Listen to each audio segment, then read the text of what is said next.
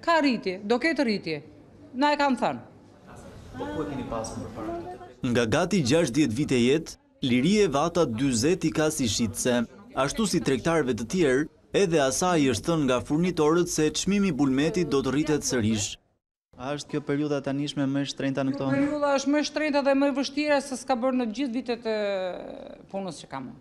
Kjo listë me çmime, që duken të ulëta e krijojnë përshtypjen se kanë vite pa u ndërruar, në fakt është ngjitur në mur vetëm në shtatorin e vitit të shkuar. Ajo duhet të ndërrohet. Për pak ditë një kilogram djathë dele është njoftuar se do të kushtojë një mijë e pesëdhjetë lekë, dyqind lekë më tepër se aktualisht.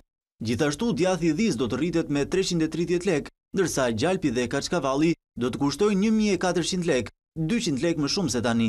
As qumësht nuk ka, po as bagëti nuk ka. I kanë hequr të tërë bagëtitë se s'ka kush t'i kulloti. Po me konsumatorin, kur rriten çmimet, në një farë mënyre zbehet kërkesa se. Patjetër zbehet edhe biles thonë ç'bëhet dhe ikin dhe nuk blenë fare. Për kryetarin e Unionit Tregtar Agro-Ushqimor, Theodor Kristuli, faktorët për rritjen e çmimeve të bulmetit janë të shumtë. Ata përfshijnë sa abuzimin e mundshëm të përpunuesve, aq edhe mungesën e dorës së shtetit. Ka një rritje të çmendur të bazës së lëndës parë, e cila ka pjesën e vet logjike. Kemi gjithë këtë kohë, ne si shoqatë, ekspertët nga krahu tjetër, shumë veta që flasin dhe që themi, kujdes me blegtorinë. Kujdes sepse po theret blegtoria.